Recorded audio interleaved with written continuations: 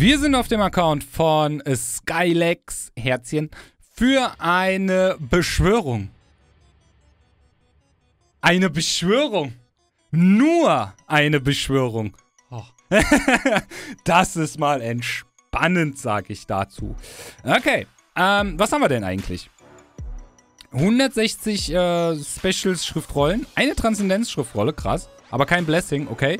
Zwei legendäre, wir haben drei Licht und Dunkel, 196 mystische plus zurückerstattet keine Stonies und dazu noch keine Wünsche. Also ich glaube, das sind die minimalsten Anforderungen, die jemand hatte von mir. Boah. Äh, kein Druck. Ich muss nicht noch irgendwas erklären. Wow, das tut gut, Mann. Das ist wie Urlaub aktuell. Würde ich kaufen, by the way. Aber okay. Und wir haben kein Blessing, deswegen können wir die ja auch erstmal anlassen. Spezialbeschwörung lasse ich mal an, weil wie gesagt, die sind eigentlich alle ziemlich okay. Ja. Also er hier braucht zum Beispiel nur einen kleinen Buff. Stellt euch einfach mal vor, das hier würde auf alle Verbündeten noch gehen. Das wäre echt nicht schlecht. Also wie eine Triana-Passive. Das wäre stark. Kann sogar sein, dass das passiert, früher oder später. Äh, der hier ist generell nicht so bad. Und das ist eine Low-Budget-Veronika. Das ist, ja, okayisch. Ne? Und die Cyborgs, ja, dazu habe ich ja, glaube ich, schon mal mehr als genug gesagt. Also sie ist sehr stark im Gildenkampf, allein durch den hier. Äh, Gildenkampf, Gilden-Content. Ne? Die ist nicht schlecht. Anti-Revive, guter Schaden. Äh, sie hier, die finde ich mit am schwächsten, muss ich an der Stelle sagen. Aber es ist okay. Und dann haben wir sie hier, die ist okay. Die hat halt die, die, der, der, ich glaube, das war da, wo der Deathbreak nicht geglanzt werden kann. Das ist okay.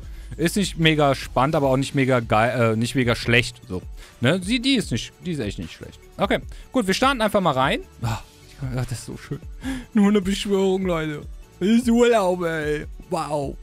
Oh, wenn das Wetter schon nicht mitspielt, dann wenigstens hoffentlich die Beschwörung heute. Boom, Asta. Er hat gerade noch geschrieben, er hofft, dass die Mana reicht. Äh, ja, wir kriegen ja hier und da, glaube ich, auch noch ein bisschen Mana zurück. Daher passt schon hier oben in dem Event. Das ist ja auch noch offen. Äh, der lässt mich jetzt öffnen, oder sie. Da, weil sie selber keinen Lack haben. Ich meine, ich muss ja gestehen. Ich habe aktuell selber nicht so viel Lack. Vor allem nicht auf meinem Account. Aber immerhin neu. Äh, aber immer, äh, vielleicht läuft es bei anderen läuft es manchmal ein bisschen besser als bei einem selber. Ne? Da ist halt so, äh, Cyborg war immerhin neu, das ist schon mal gut. Wie gesagt, für Gillen-Content dann mal. Der ist auch nicht schlecht für PvE-Content. Ne? Barbarenkönig Hüfluff. Ja, geht klar, geht klar. Okay, mal sehen. Ich hoffe, wir, also wir haben eine Transrolle. Also eine 5 ist safe. Ich weiß nicht, was... Okay, haben wir Feuer schon mal. Auch okay. Ja, das ist so die zweitbessere, finde ich persönlich, weil der Deathbreak nicht ähm, resistbar ist. So, Schwarzkopf-Seehäschen, wer kennt sie nicht? Die muss auch irgendwie bei jeder Beschwörung dabei sein. Ich meine, die hat echt ein cooles Design. Sind aber alle eher fragwürdig. Aber okay. Kommt, zumindest ein Net 5, was kein Dupe ist. Ich weiß ja nicht, was sie für Net 5s hat.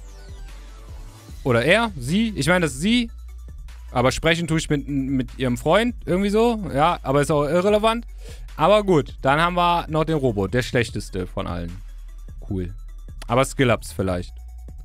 Aber vielleicht Skill-Ups. Okay, komm schon. Ich hätte gerne ein Net 5. Oder vielleicht heute mal LD Net 5, so aus den Jahresscrolls. Würde mich ja auch feiern, ne? Er hat keine Wünsche, gar nichts. Wow, das ist, das ist halt echt... Ah. Seit ich das anbiete, will meistens jemand irgendwie noch Bonustipps dazu haben. Auch wenn es nur eine Kleinigkeit ist. Ich meine, ja, wenn man wenn es schon anbietet, nimmt man es halt auch mal mit. Ne? Schadet ja nicht, kostet ja nichts. Ne, das ist halt. Deswegen, ja, kann ich auch verstehen. Aber es ist halt einfach mal echt angenehm, tatsächlich nur eine Beschwörung zu haben. Nur eine Beschwörung. Mit einer Aria. Guckt euch das an, der Wahnsinn, ey. Boah. Okay, aber Forstars scheint äh, ja sehr viele zu haben. Also eine ne, ne normale Menge Forstars zu haben, sage ich mal so. So die meisten zumindest. Orion, okay. Ja, die meisten hat sie ja. Three Stars, okay, ist schwierig da welche nicht zu haben.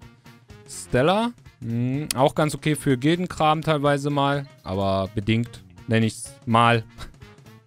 okay. Ja. Bin mal gespannt, was die für Net 5 sind. Abigail, okay. Für Necro. Gegebenenfalls mal für eine Offense ganz stark, aber ja. Eher Necro, würde ich jetzt an der Stelle sagen. Ich will mal gucken. Was hat die? Warte mal, ich muss ja mehr oder weniger eh zum Lager. Ich will mal gucken, was sie so hat. Manon hat sie da. Okay, Forsters sind hier alle drin. Gut, dann kann ich hier alle... Ich packe auch die Cyborgs jetzt mehr rein. Auch sogar Platz gemacht. Guck mal das an. Oh ja, Bastet, Ariel, Shiho, ja. Okay.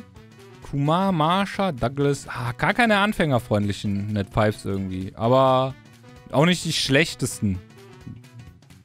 Tesha ist ja sehr berühmt geworden. Dann Bale, Odin hier noch. Hey Gang. Okay, Hey Gang ist so ein Monster, das kann halt Anfänger gar nicht gebrauchen, ne? Okay, dann hier unten der Fusion-Kram. Ja, ja, nicht viele Net Fives tatsächlich, aber äh, die, die da sind, sind jetzt auch nicht die schlechtesten. Bis auf so ein paar vielleicht. Wie gesagt, Hey Gang ist jetzt für einen Anfänger oder Midgame, Midgame, also eher ist halt ein RTA-Monster. Wenn man kein RTA spielt, brauchst du auch kein Hey Gang. also vielleicht mal als Counter im BK oder GK und vielleicht mal eine Arena Offense. Ne, das, ah, ja, ist halt ein bisschen, äh, naja. Naja, naja, naja, sage ich dazu. Da ist jetzt nicht so geil. Da wäre, glaube ich, ein Chongpong halt ein bisschen besser gewesen. Ja, ich glaube, ein Chongpong hätte da schon ein bisschen mehr gemacht. Wäre schön, wenn wir jetzt mal ein Net 5 kriegen, Spiel. Jetzt so, hier komm schon, boom, zack, boom. Oh, die ist auch nicht schlecht. Ne, aber wissen wir ja. Ich glaube, das wissen sie schon. Okay. Trotzdem hätte ich gerne mal ein Net 5. Aber bitte nicht am Ende der Beschwörung hier. Weil ich würde gerne da zumindest den Shot auf bei den Special Scrolls haben. Dass wir da vielleicht Net 5 ziehen. Net 5, LD Net 5. Jetzt haben wir alle, oder? Ich glaube, die hat uns noch gefehlt. Ja, okay. Ja, immer alle Cyborgs. Immerhin. Okay, jetzt, jetzt übertreibst nicht mit den Cyborgs. Nein. Also eigentlich Cyborgs, das ist immer das Schwierige an LD 4 Stars, wenn man sie gerade, also wenn sie gerade rauskommen sind, die zu skill-upen. Ne, das ist immer so das große Problem. Wenn man zu wenige hat, kannst was willst du Monster ohne Skill-Ups, ist halt so das Ding. Tyron, okay. Ein Monster ohne Skill-Ups bringt halt in der Regel nicht so viel. Also wahrscheinlich sind ja auch viele Skill-Ups Forsters gerade noch interessant, sage ich mal. Natürlich erwartet man mehr als nur ein paar Skill-Ups, aber wenn wir mal optimistisch denken, okay, könnte natürlich hier und da mal ein paar Skill-Ups jetzt bei sein. Das kann ich mir schon vorstellen.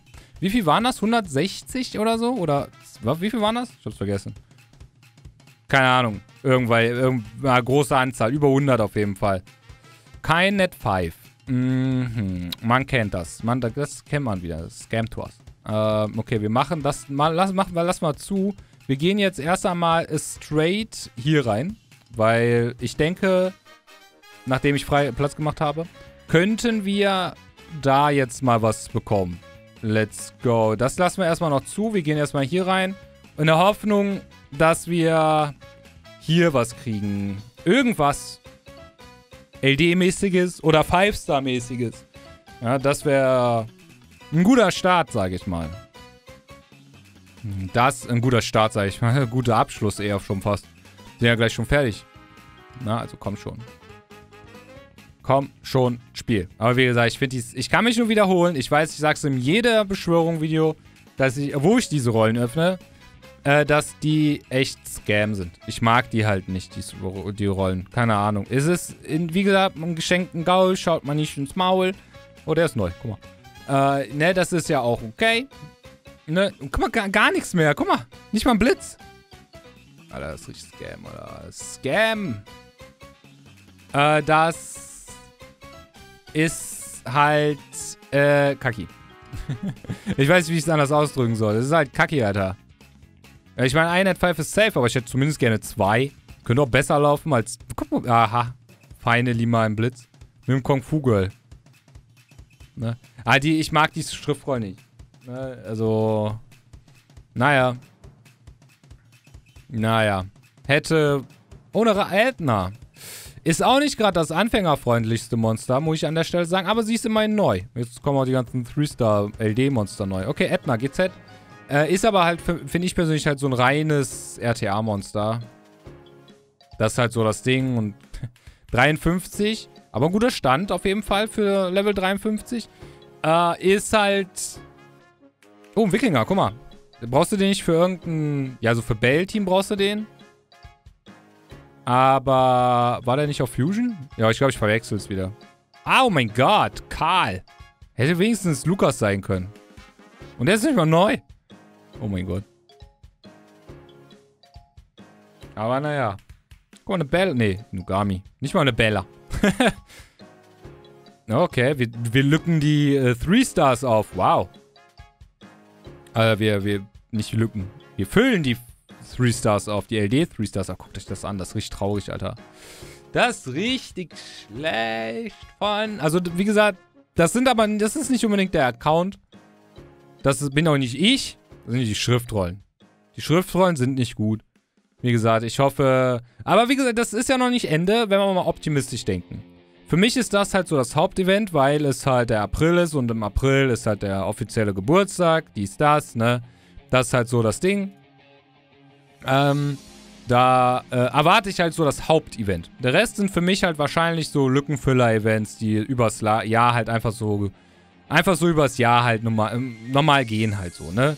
Nichts Weltspannendes. Wahrscheinlich irgendein Runen-Event, Artefakt-Event, sowas halt. Vermute ich halt jetzt einfach mal. Ne? Wissen tue ich es natürlich nicht, aber es, es, liegt einfach mal so in meiner Vermutung. Und dann ist das das Hauptevent und der Rest ist halt eher so, naja, ist nice to have, ne? Aber ginge auch cooleres Stuff, sage ich mal. Davon gehe ich halt aus. Und wenn das das Hauptevent ist, finde ich es für ein 10-Jähriges halt schon ein bisschen mau. Ich meine, wie gesagt, das äh, Formwandlungsevent und gegebenenfalls diese zwei FreeNet 5 Events die sind fein.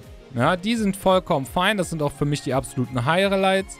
Aber die Schriftrollen sind, finde ich persönlich, nicht so geil. Dasselbe aber auch mit dieser Schriftrolle. Warum hat die 20% da drauf? Achso, das ist generell? Wow, haben sie runtergeschraubt. Kauft sich keiner, hä? Kann ich verstehen, ne? Äh, warum? Beschwörer, die während des... Ah, zurückkehren sie können auf Paket mit 20% kaufen. Ah, weil es zurück gekommen. Aha. Ah ja. Ja, so geht's auch, ne? Das ist der Grund, warum einges... Ich schwöre mit euch, umso aktiver du das Spiel spielst, umso weniger kriegst du vom Spiel. Oder du bist halt so ein wirklich, ich sag mal, Pro-Spieler in Anführungszeichen, ne? also wirklich einer, der wirklich hart das Spiel feiert, so, ne? Also so wirklich Top 100 spielt da hast du, glaube ich, auch nochmal einen guten Shot, weil du halt sehr, sehr aktiv bist, aber so, so wie ich jetzt so oder wie die meisten, nehmen wir es mal so. Die meisten sind halt eher so casual unterwegs und die bekommen halt auch am wenigsten. Oder halt Zurückkehrende, weil dann müssen die es ja wieder schmackhaft machen, ne? Also ich bin auch guter Dinge, dass wir hier eventuell doch noch was ziehen. Ne, bist ja ein Zurückkehrender. Willst ja bleiben. Oder solltest bleiben. Im besten Falle. Ne? Spielerzahlen und so. Ist ja schwierig bei Comtors. Okay, achso, das war's schon. Äh, warte mal, wir haben wir nicht. Dann machen wir erstmal das, bevor ich... Aber naja. Oh, okay. Haben wir hier. Geil. Ein Newstone-Kämpfer. Holy moly, ey. Ja, holy schmuckumuli. Okay, wir haben einen Net 5 aktuell, das ist Edna. Okay, Spiel. Bei der Anzahl finde ich auch schon wieder traurig, muss ich sagen. 10 von denen haben wir nochmal. Let's go. Vielleicht in diesen 10 jetzt hier. Boom. Oh, Hurdam ist nicht bad. Hey, das ist ein Highlight bei so. Mehr kriegst du aus den Scrolls nicht raus. Ähm, Hurdam. Der ist nicht schlecht. Ist ein gutes Monster im BK und so ein Kram. GZ zu Hurdam. Hurdam ist schon nicht schlecht. Ist einer der besseren Forsters auf alle Fälle. Gegen bestimmte Teams im BK und so ein Kram. Also da kann man sich schon ein bisschen glücklicher schätzen, den jetzt bekommen zu haben. Natürlich wäre was anderes cooler. Das kann ich auch nicht abschlagen, anstatt ein Huadam. Aber äh, gehört schon zu einer Sorte, die okayischer ist. Ne? Das, das will ich damit nur sagen. Okay, gehen wir in die LDs. Vier Stück haben wir ja an der Zahl und noch vier legendäre und die Transrolle. Komm, dann hauen wir mal rein. Aber LDs kennen wir alle, sind große Scam. Keine Hoffnung haben. Oh, guck mal, ein Schrenn. Die wäre sogar neu. War sogar neu. Krass. Okay. Okay, ein Drunken Master. Stark. Was haben wir hier? Irgendein Three-Star, der hilft. Auch neu. Der äh, ist auch nicht so schlecht. Ich weiß jetzt nicht den Namen. Aber der ist nicht so bad. Und Raupe. Okay. Nichts Weltspannendes. Wer hätte das erwartet? Let's go. Legendäre. Äh, was ist das? Karabiner? Naja, naja. Noch ein Asura. Das schlechteste, finde ich persönlich. Oder einer der schlechtesten. Haben wir hier? Okay. Nochmal ein zweites Netfile vor der Transrolle. Das ist schick. Und ist neu. GZ zu Zyros. Das ist schon mal stark. Back to back. Net 5? Ah, Schwarzkopfhäse. Okay. Wie immer. Wie immer. Okay, Transzendenzrolle lassen wir mal eben offen. Okay, Zyros noch dazu kommen. Zyros ist okayisch. Auch als Anfänger okayisch. Gibt's bessere, in meinen Augen, als Zyros. Aber ja. Besser als nichts. Ich habe jetzt nur den Hordam reingetan, rausgeholt, weil er neu war. Ich glaube, die Reste, die wir gezogen haben, von den LDs, das war der hier, ne? Und mehr war es ja gar nicht, ne? Nee. Das ist schon traurig. Aber okay. Dann öffnen wir noch die Transrolle. Let's go. Komm schon. Hoffentlich jetzt kein Dupe oder so. Ich weiß nicht, was ich mit Dupes machen soll. Oh, ein Hacker. Oh, der Feuerhacker. Nice. GZ. Ui, das ist nicht bad. Das ist der beste Hacker. Hey. Der beste Hacker ist immer noch der beste Hacker, ne? Ich weiß nicht, ob der jetzt groß hilft im Anfängerbereich. Ähm, aber über Hacker bin ich jetzt schon ein bisschen, bisschen traurig. Hätte ich auch. Hätte ich ja auch gerne, ne? Aber okay. Gut, das war's, hä? Keine Hilfe, nichts? Wow. Ich bin verblüfft. Wir haben auch, glaube ich, keine zurückerstatteten mehr. Lief ja okay doch noch am Ende. Das ist okay, ist klar. Es hätte ich, für meine Fans zu sein, mal ein Net 5 mehr hätte nicht geschadet. Ne, so ähm, vier Net 5 plus Trans, also drei Net 5 plus Transrolle, das wäre noch okay. Einen jetzt zum Beispiel noch in den 10-Jährigen, einen in den MS, einen in den LS und dann halt die Transrolle. Das wäre so, glaube ich, das, das wäre ein durchschnittlich gutes Szenario gewesen. Jetzt haben wir einen Net 5 weniger, dafür haben wir einen Hurdamm. Äh, ja, doch, finde ich nicht schlecht. GZ, nur leider halt, wie gesagt, keine großen anfängerfreundlichen Monster. Äh, das ist halt ein bisschen traurig. Äh, so ein Teshar oder so. Ich weiß vielleicht hast du ja auch schon einen. Wäre da vielleicht hilfreicher gewesen. Ach, hast du schon. Okay. Ja, dann. Dann sieht es ja gar nicht so bad aus. Okay, gut. Dann bin ich durch. Das war's. Ich bedanke mich fürs Zuschauen, Leute. Ich hoffe, ihr habt einen angenehmen Tag. Haut rein.